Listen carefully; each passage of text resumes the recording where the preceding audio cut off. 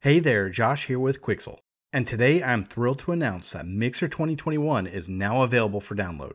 This massive update is filled with countless performance increases, polished workflows, and most notably, incredible new features that include multiple texture sets and UDIM pipelines. In this tutorial, we're going to focus on multiple texture sets, showing how you can texture a model with more than one material. We'll also walk you through the improved base texture import process, We'll cover multiple texture set painting, which lets you paint across texture sets as seamlessly as if you were painting on just one. We'll talk about some updated UI and workflow changes, including a quicker way to add smart materials to your mix. And finally, we'll go over the game-changing export pipeline, which will let you go from Mixer to Bridge to the DCC of your choice in literally just a few clicks. With that said, let's get started. So the first thing we're going to want to do is load our model. As before, we'll do this by going up to the Setup tab and changing the type from Plain to Custom Model. Alright, after loading our mesh, we'll see that things are a little different from before. We now have a Texture Sets drop-down menu that consists of three different options. There's Single, which would be just one texture for the entire mesh, From Materials, which will allow us to have multiple texture sets, and From UDIMs, which we'll cover in another video. So we'll keep from materials checked and move on. Another change here is the scale factor, which adjusts the scale of the mesh universally with a single multiplier instead of adjusting each axis individually. And since Mixer applies surfaces based on the scale of the mesh, it's important to be sure that your mesh is the proper size. And then of course we have the texture resolution, which we'll leave at 2K. Loading the base texture for our mesh has changed from before. If we click on the Edit Texture Sets button here, We'll open a new window that shows us the different texture sets or materials this model has assigned to it. If we look at the model in a 3D application, we'll see that we have four different materials applied to the geometry, each one with their own set of texture maps. And we'll see those same materials in the texture sets editor. So we have arms, head, torso, and then the legs. So let's go ahead and bring in the base textures for the arms. As before, you can load all these different maps for your base. In most cases, however, it's these bottom four that are the most important, so let's load those. Now we can click on the folder icon to the right and load these textures individually. However, a new and faster way to do this is to go up to the Import All Maps button and select the folder with your baked textures. And you'll see that it automatically imported everything into the right slots based on the file's naming convention. However, you might have noticed that our material ID failed to load, and that's because the name I used for my ID map did not match the presets that come default with Mixer. Because we realize that different teams have different file naming conventions, you can simply go up to this gear icon here and add whatever name your project uses for the different base maps. So let's scroll down here, and we'll simply add a comma, then the letters ID after it. Now we'll hit save, go back to import all maps, select the folder, and now we have the ID map automatically plugged in. All right, because this texture was baked with inverted green on my normal map, I'm gonna invert the Y normal by checking this box here, and then we're all done with the arms. And to save even more time, we can import the rest of the texture sets all at once. We can do this by selecting on one of the texture sets, and then by holding shift and clicking on the bottom set, we'll select the remaining three, and then repeat the process as before. This will import the base maps of the selected texture sets all at the same time. And then all we need to do is flip the Y channel on the normal map and we're good to go. Now, as I pointed out earlier, we have a texture resolution dropdown over here. Changing this will change all the texture sets to use that resolution. However, in the texture sets editor, we can change this on an individual basis. And in this case, we don't actually want the head textures to be 2K since it takes up such a small part of the mesh. So we can select the head texture set, and then lower the resolution to 1K. But don't worry, you can always change the resolution at export for the highest quality results. Alright, our model is now fully imported, so we can go ahead and close this window and move to the viewport. The first thing you'll probably notice is that most of our model is slightly transparent.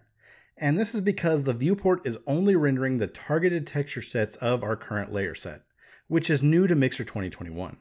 To keep things simple, a layer set is essentially a folder that allows you to determine which of the model's texture sets will be affected by the various surface layers within. Whereas a texture set itself is the texture maps actually assigned to the various parts of the mesh. For example, if I add a solid color layer to this set, we can see that it's only affecting the arms, which is because it's all that's currently targeted on the layer set. However, if I go and check the boxes for the head, torso, and legs, we'll see that these sections of the character become affected by that solid color layer as well. We also see that those parts are now fully rendered since they are now being targeted by the layer set. If we turn them back off, we're now back to having the arms as the only target rendered. This viewport setting can be very beneficial to help keep you organized during the texturing process. However, if you would prefer to just see the entire model rendered at all times, regardless of which texture sets are active, you can move up to this little reticle icon here and disable it to have the entirety of the model rendered. And you can also simply press A on the keyboard as a shortcut. By allowing you to only affect textures you need, layer sets are a great way to keep your mix organized and running smoothly. Alrighty, let's start texturing this amazing character named Crunch from the game Paragon. We'll first take a moment and rename this layer set to Base Materials, and then we'll target all the texture sets. And then we'll start off with a simple solid color layer, which we already added just a few moments ago, so we'll just change a few of the settings to give us a raw metal look to use as a base. Next, we'll add a scratched metal imperfection from the Megascans library to give us some textural detail for this layer. And then we'll adjust the projection tilt slightly to change the angle the surface is mapped to the model. By default, imperfections only utilize the roughness channel, but you can activate any of the other channels to use the same imperfection map. So we'll go ahead and activate the albedo channel and then adjust the tint. In the albedo dropdown, we'll change the blending mode to overlay, reduce the contrast a little bit. We'll play with the roughness some, then we'll just bump up the contrast to add some nice value breakup. And that should do it for the base metal layer. Alright, let's give Crunch a bit of paint, and to do this, we're going to use a smart material. If you're new to Mixer, smart materials are made up of a collection of surface and color layers using mask stacks to dynamically change based on your model's normal, curvature, and three-dimensional detail. There are hundreds of smart materials to choose from, including more than 100 new ones with this release. These carefully crafted smart materials are included with Mixer and are free to use commercially for everyone. So be sure to leverage them and make texturing even faster. Alright, so before if you wanted to add a smart material, you'd go up to the library, find the smart material option in the drop-down menu, and then begin browsing. However, if you look up at the top of the mask stack, we now have an add smart material icon so that you can quickly add them to your layer stack. So let's go ahead and click on this icon, and then we'll grab this scratch painted metal right here. One of the things I love about Mixer Smart Materials is that every single layer is adjustable, so you can customize them however you want. In this case, I'm making a few minor adjustments to the mask stack and then the layer structure as well to keep my layer stack more organized. Alright, now that we're done with the base paint, let's give him some additional paint colors. We'll want the other paint layers to feel the same as this one, but obviously a different color. So what we'll do is make sure that the blue paint layer is selected, and then just press Ctrl D to duplicate it, and we're now free to change the tint of the albedo and roughness. Now we want to have the same kind of wear and tear on the various colors as we have on the blue, but there's a much more efficient way to do this than using the same mask stack as the blue painted layer. So let's go ahead and delete the mask stack from the layer, and instead all we need to do is clip this layer to the one below by holding Alt and clicking the layer. This will clip our new layer to only show on the visible pixels of the layer it's clipped to, and as a result, this layer will effectively inherit the mask stack from below without having to do any of the calculation. Alright, so now all we need to do is add a material ID mask by pressing on this icon down here. And then we'll select the different material ID colors we want to assign to the new paint layer by holding down Q and clicking on the various colors. We'll repeat this process for all the other colors we want to apply by duplicating the previous layer, making sure it's clipping to the one below, and then adjusting the albedo and roughness values as we see fit. And then we just assign them to the ID colors. Again, while this appears to look like we're just working with a single texture, behind the scenes we're actually applying this to four different texture sets at the same time. Okay, this is feeling pretty good, so let's go ahead and add another smart material. We'll do a quick search through the smart materials and use this nice gunmetal right here. Just like with layers, we can assign material IDs to entire folders. So let's assign one to this smart material folder and select a few IDs to incorporate this gunmetal smart material. In addition to making adjustments to the smart material layers, we can also remove layers we don't want or need for our specific mix, so we'll go ahead and delete a few of these to keep things running smoothly. Alright, now that we have a solid base texture to work with, we can start adding specific detail to each of our four texture sets separately. So let's go ahead and start with the legs. We'll first collapse the base material layer set, and then we'll add a new layer set by clicking this icon up here at the top of the layer stack. We'll name it Leg Details, and then make sure it's only targeting the leg texture set. We'll start with a bit of acid wear that would accumulate over time. So let's add a solid color layer. We'll give it a dark green albedo value, and we'll use a material ID to assign it to this blue part above the knee, and set it to overlay. And then we'll also drop the opacity some to let the other details bleed through. Okay, let's add a mask stack so we can grunge up the appearance a little bit. And all we're going to do for this one is drop in a curvature component. We'll make sure the tightness is set to zero, and then bring in the level handles toward the center and turn on soft mesh to give us a really nice organic look. Alright, let's add some scuffs and scratches to the knees by adding another solid color layer. This one will give a dark desaturated blue tint. And then we'll set the blend mode to multiply. We'll leave the roughness value alone, but we'll drop the opacity down quite a bit. And then we'll lower the entire layer's opacity as well before adding a material ID mask to assign this layer to the knee area. We'll throw on a mask stack, and the first thing we're going to do is add a position gradient. And all we need to do here is bring in the range handles towards the center and then invert. After this, we'll add a texture map component, and we're going to use a library map. We'll browse to the imperfection category and choose this scratched rubber imperfection right here. We'll make sure it's set to gloss and then adjust the range handles to give us some good contrast and then invert the results before we change the blend mode to overlay. Now obviously the direction of the scuffs don't feel right, so we'll add a projection modifier to the stack. We'll clip it to the texture map below and play with the settings until the scratches have a bit more of a natural direction and scale to them. All right, that's feeling pretty good. So let's go ahead and add one last detail to the legs by dropping in a subtle orange gradient to the yellow section of the shins. We'll add another solid color layer and give it a bright orange tint. And then we'll set it to overlay. We'll assign our ID mask and then throw on a mask stack to the layer. For this, all we're going to use is a normal component. We'll set the tilt to 0 degrees and have the projection coming from below. Then after some minor adjustments to the range, we are good to go. Okay, I think that'll do it for the legs, so let's go ahead and add a new layer set and name it Arm Details, and then we'll just target the arms texture set. All we're going to do here is add some fun paint details to the palm area, so we'll use a solid color layer and give it a desaturated yellow color. We'll also give it a bit of a glossy look by lowering the roughness value and then disable the other layers. We'll add a material ID mask and assign it to the blue areas that make up the palm. And then we'll add a mask stack.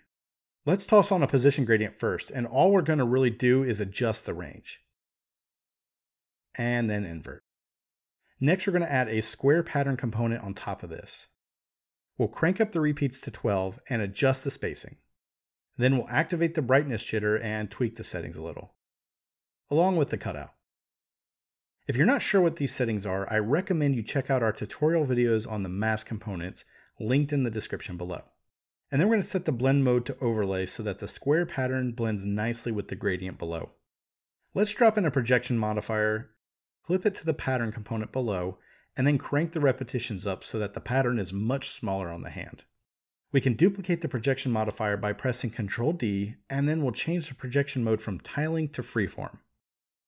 Here we can adjust the offset and rotate the mask to align the pattern how we want. For organizational purposes, I wanted this layer to be assigned to the arms only, which means this layer is not clipped to the original paint layer in the base material layer set. As a result, the wear and tear from the paint layer below is being covered by this new layer. However, I still want that raw metal to bleed through, so what I can do is simply go down to the base material layer set, select the mask on the blue paint layer, and then copy the mask stack by right clicking and selecting copy mask stack.